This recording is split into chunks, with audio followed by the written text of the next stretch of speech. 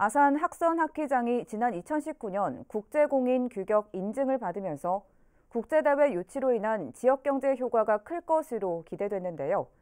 경기장이 단 한 면인 탓에 국제대회는 물론 전지훈련 장소로도 외변을 받으면서 아산시가 추가적인 국제하키센터 건립 계획을 검토하고 나섰습니다. 보도에 김장섭 기자입니다.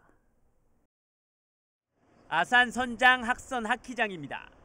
가로 103.2m, 세로 63.2m로 지난 2019년 국제하키연맹 심사를 통과해 국제공인규격 인증서를 획득했습니다. 국제대회 유치 등으로 인해 지역 경제에 보탬이 될 것으로 기대했지만 국제대회는 물론 하키 선수단의 전지 훈련에도 외면을 받고 있습니다. 문제는 경기장 부족입니다. 현재 학선 하키장은 국제공인 규격의 경기장 단 한 면뿐. 국제대회를 하려면 두 면 이상의 경기장이 필요합니다.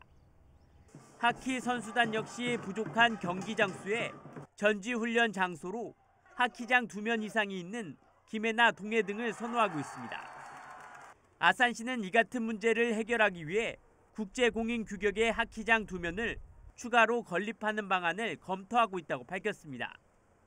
국제공인 규격의 하키장이 있지만 국제대회와 전지훈련 장소로 외면받고 있는 아산시. 하키 메카 도시 아산이 되기 위해서는 추가적인 경기장 건립이 관건입니다. BTV 뉴스 김장섭입니다.